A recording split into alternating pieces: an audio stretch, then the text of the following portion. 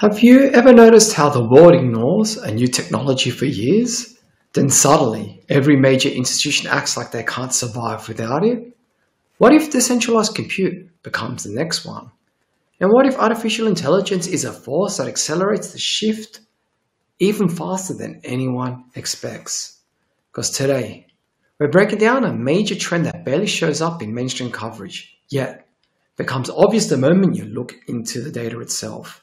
Institutions and governments are quietly facing increasing pressure to rely not just on cloud platforms, but on secure, tamper-resistant, decentralized compute. Not because it's cool, not because it's crypto, but because centralized systems are running into real-world limits. And artificial intelligence is pushing those limits harder every single day.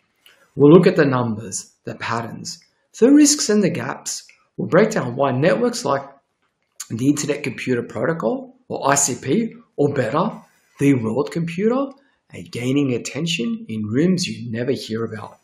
And I'll share a few stories from my time in traditional finance that reveal why this shift actually makes a lot of sense than people realize.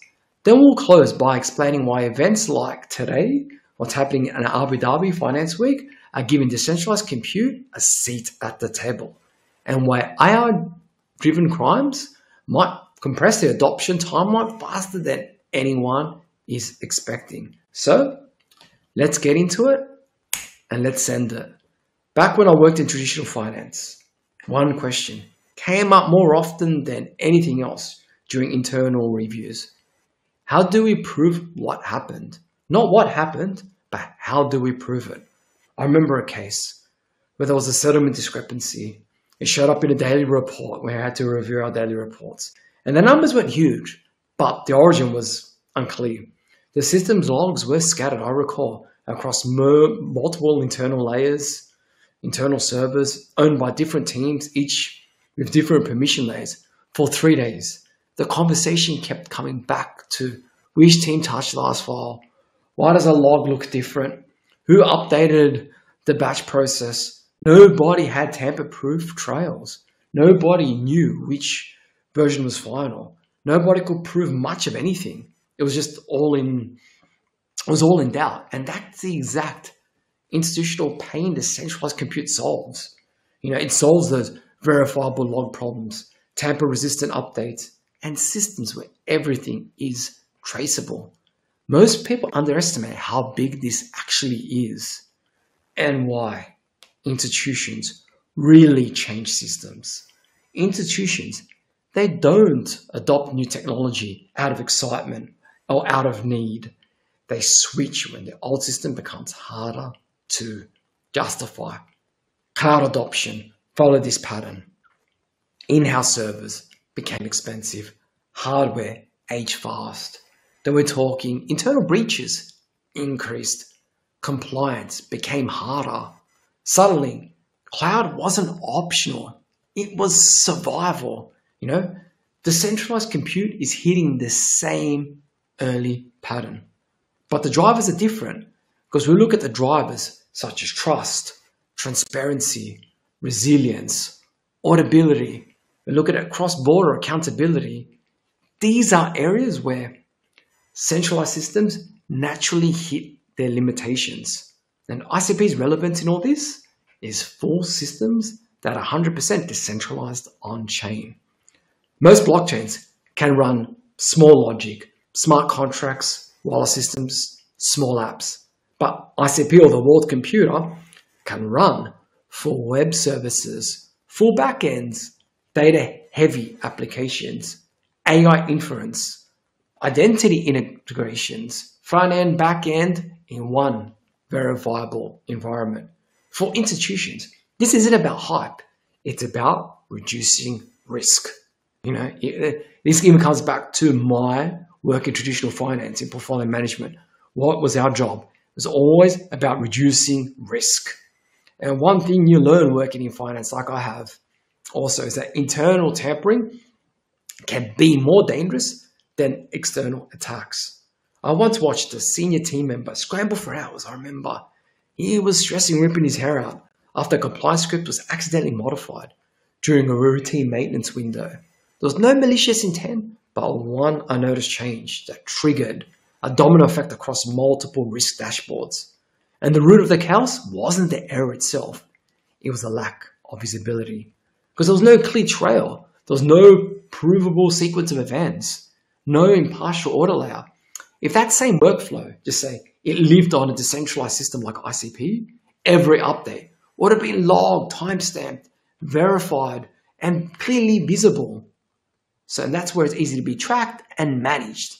And this is why analysts say decentralized compute makes intuitive sense for institutions. They've lived through this. You know, I've been through this firsthand working in traditional finance. And also, unfortunately, artificial intelligence is making cybercrime worse fast. You know, here's the part nobody wants to admit. AI is scaling. We're going to go through the AI productivity boom next year in 2026. And that is scaling cybercrime at institutional speed. Not next year, not in five years, but right now. You know, artificial intelligence can already write advanced malware, mimic corporate emails, generate flawless synthetic identities, you know, automate phishing attacks at scale. It can analyze weaknesses faster than most cyber security teams that they can do in person. Exploit mal- misconfigurations instantly. So you don't need a genius hacker. You need someone with ChatGPT level tools and motivation to do it. And this is exactly where decentralized compute suddenly becomes relevant. And why AI driven attacks speed up government adoption. Because in the traditional timeline sense, decentralized computer adoption might have ramped up in the early 2030s. But here is key artificial intelligence driven cyber threats compress that timeline, and here's why. Centralized systems create what we call single points of failure. An artificial intelligence tool can scan, say, a cloud provider's misconfigurations at scale. One mistake affects millions. Decentralized systems, what do they do? They distribute that attack surface, and artificial intelligence makes insider threats far more dangerous. With AI tools, think about this. An insider can modify logs, scripts, or databases invisibly. What decentralized systems create are immutable logs, verifiable compute, tamper evident updates.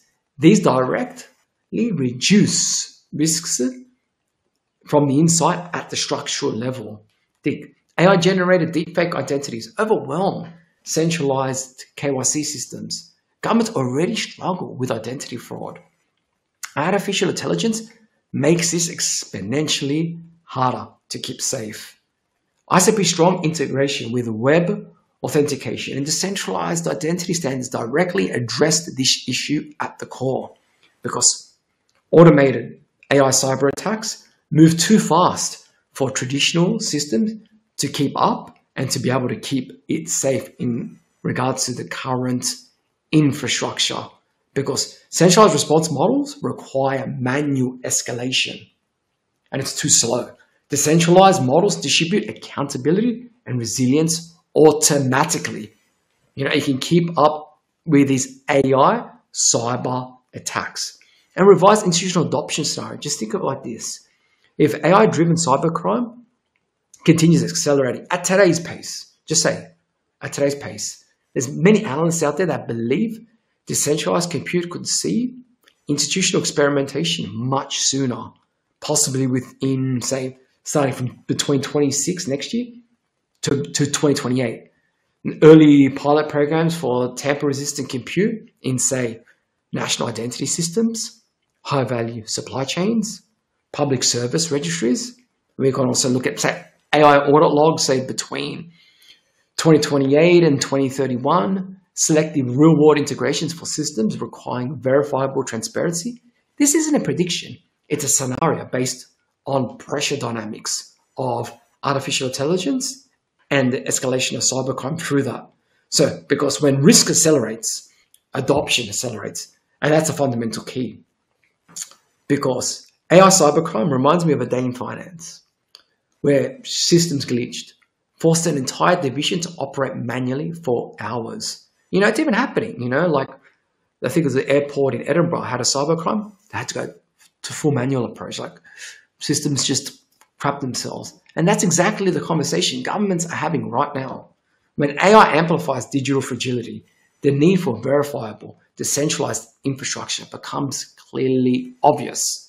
And that's what brings us today to the lovely Abu Dhabi in the United Arab Emirates, where we have Abu Dhabi Finance Week this week.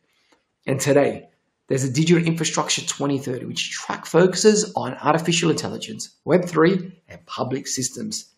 They don't invite hype, they invite solutions. And Dominic Williams, the key founder of Dfinity Foundation, shows up there because ICP. And why do they invite him to the roundtable? Because the world computer tackles real world institutional problems. We're talking verifiable compute, transparent upgrades, tamper evident logs, identity integration, digital sovereignty, cross border governance. These are the exact topics the global regulators and the players at that roundtable are preparing and talking about.